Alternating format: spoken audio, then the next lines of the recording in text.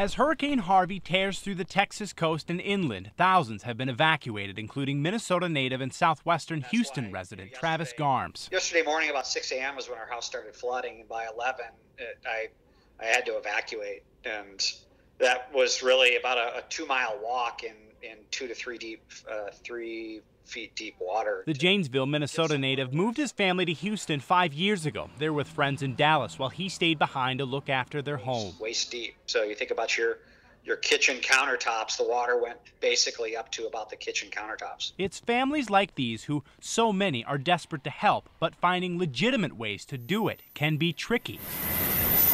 Texas law enforcement has warned about fake funds or scammers posing as donors.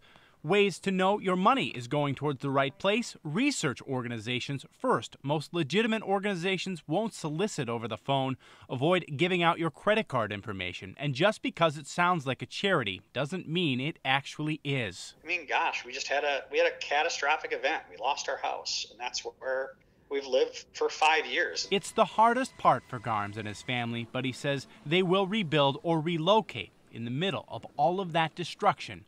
He's thankful for the ones who have helped each other and those who showed him and his family they care. You know, making sure that those folks know that I'm okay and that they still care and you know reach out. That that means a lot.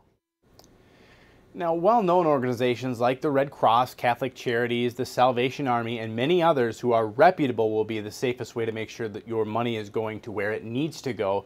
GoFundMe also says it's working with local authorities to help ensure donation drives that they have on their website are legitimate, and we do have some more information in this web story on KARE11.com about how you can not become a victim of a scam yourself. All right. Thanks so much, hmm. Dylan.